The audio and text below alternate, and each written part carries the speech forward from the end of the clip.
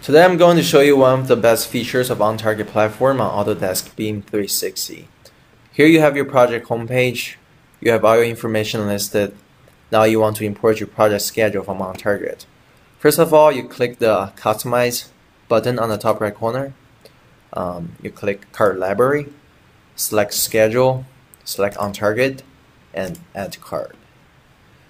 Now you need to configure the tab by adding a URL. The URL will come from the OnTarget website. If you go to the OnTarget website, on the right hand side there's a button right here. All you need to do is click it.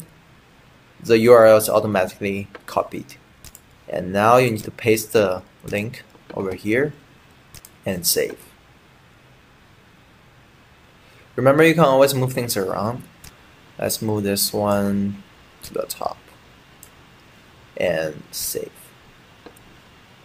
After you save it, you can always expand the tab to get a better view. And the schedule is already here. You can see all the activities.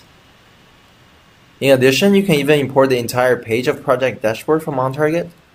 Uh, click settings, configure, and let's get rid of the link before. And go to OnTarget website. Copy the link on the top of your browser and paste it. Save. Now you have the entire dashboard over here.